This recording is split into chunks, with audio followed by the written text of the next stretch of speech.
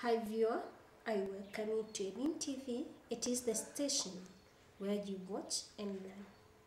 I'll be taking you through Geography Form 2, lesson number 8. The topic it is internal land forming processes. I'm your tutor, Lucy Mudoni. Welcome.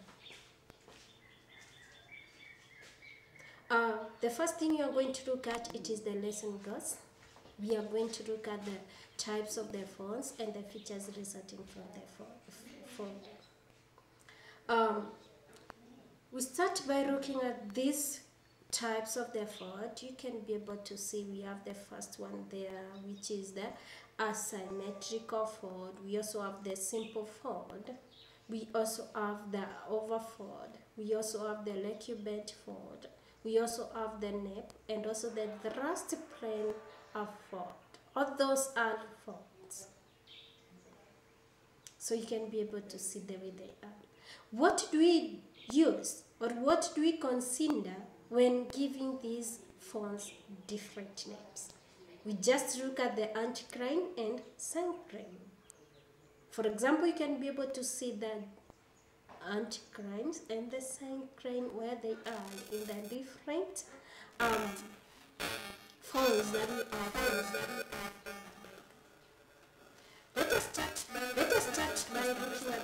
characteristics and the reason as to why we give them the names the way that we give them. We start with the first one, which is the simple symmetrical faults. They are forced when the compression, or they are formed when the compression forces of equal magnitude and of moderate strength act on the crustal rocks. So here for the symmetrical fault, we must have equal magnitude of force. The rocks bed evenly and the anticline is symmetrical about its axis. That means that the fold here, the limbs are divided into two equal parts.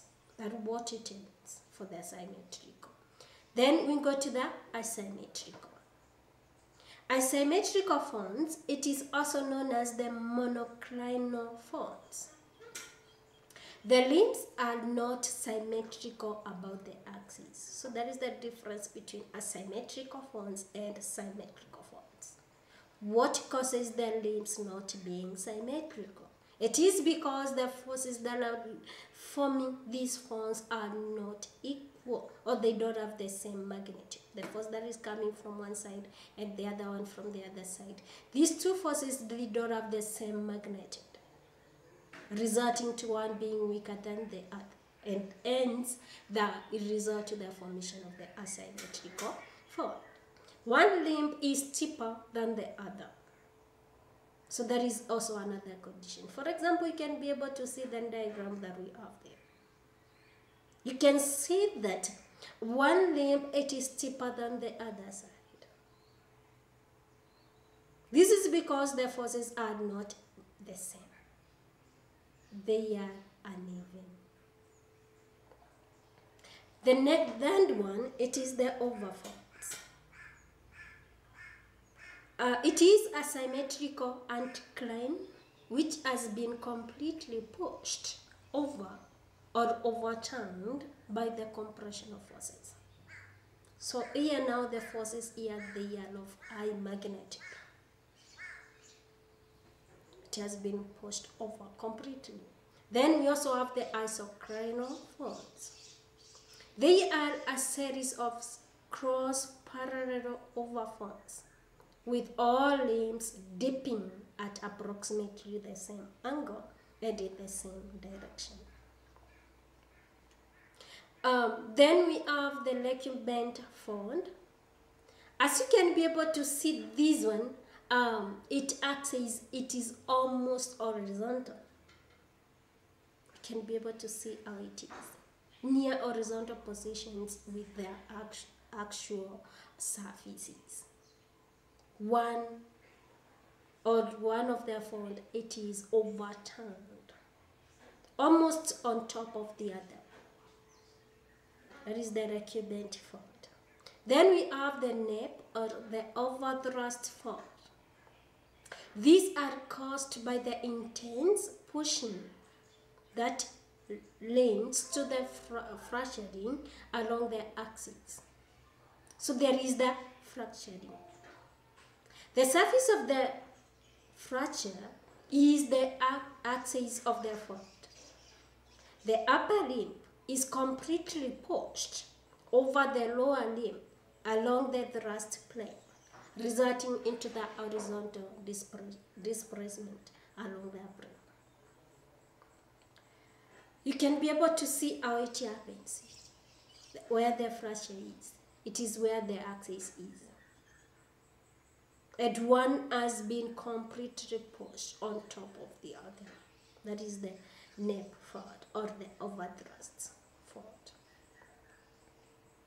We also have the anticlinorium and the synclinorium complex faults.